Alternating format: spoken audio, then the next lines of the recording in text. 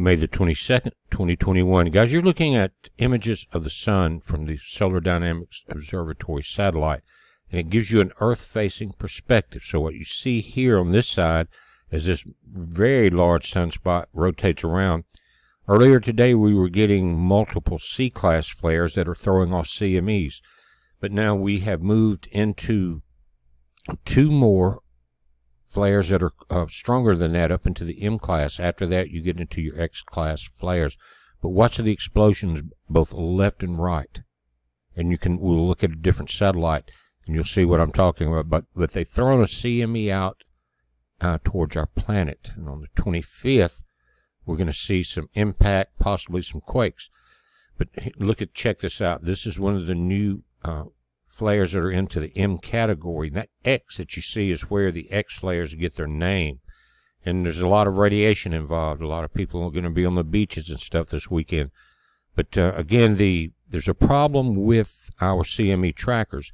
If you have multiple explosions back to back, they don't pick them all up. You may have to, you know, just see that model till it plays out. But guys, the little sparks, the little sections that you see exploding, are the size of our planet. And what is happening is the center of the sunspot has one polarity, but all the little spots around it has the opposite polarity, and you're having an arcing effect. Notice at the very left of the sun, there's another sunspot that's turning Earth facing. We are rapidly getting into the up um, flow into solar cycle 25. Now look at this. This is another satellite called LASCO C3. You can see both of the explosions but neither one of the satellites have picked up the newest two M flares. They will be uploaded, I'm sure, pretty soon. But that's what we're dealing with. It doesn't look like they're facing, but they are because of this occulter disc right in front. It's like holding your hands up to the sun so you can look. There's your first one, as you were seeing that explode both sides. There's your second one. There's been two more more powerful than what we've seen on this satellite or on the CME tracker. So I want you to be very careful. It says a closer look at AR 2824, which is the number of the sunspot, shows the reason for all the magnetic instability and C flare activity. But again, the last two flares since this article were M flares, the next level. The main dark core, which is a positive magnetic polarity, is surrounded by a number of smaller spots with opposite negative polarity. The tension uh, surrounding the region continues to manifest itself in the form of C flares due to the magnetic uh, changes.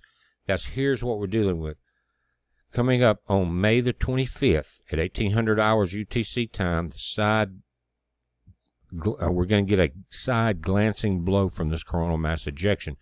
Now, this is tracking one of the earlier flares from today, not the two largest. Not like I said, this is one of the problems with it. We started out, you had three explosions in the C class range. Then the last two have already made it up into the M flare range here. And uh, when you go across that red line, you're in the X flares. Now, those spots are torn, turning towards our planet. And we have to be very careful because as it was turning, you have a CME that throws it slightly out left or right. You don't have a direct impact, but we're about to deal with it. Now, look what it started happening yesterday with the uh, C flares 7.3 in China, 6.5 Aloe Wallace down off the Australian coast, and a multitude of 5.5s, including uh, up in the Aleutians and down into Central America.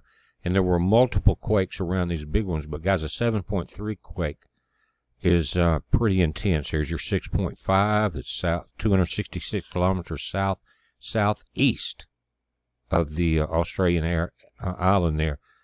And you've got some 5.0s on both ends of the ring of fire, or the San Andreas fault. Let me straighten that out. But guys, what we're dealing with is suddenly the sun is awakening.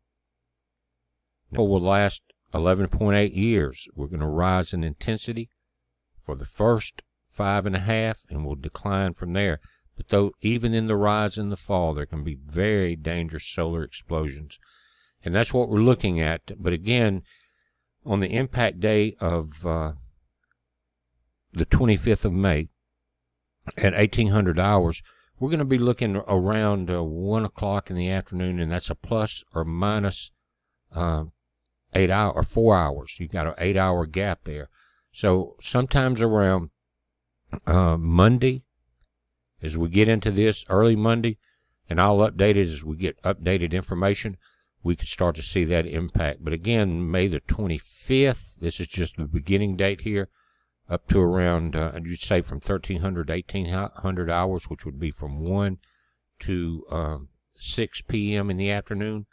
But we're watching it, guys. Just a quick update. The sun is waking up and it's throwing out some very powerful flares and coronal mass ejections. It's a heads up. Be safe.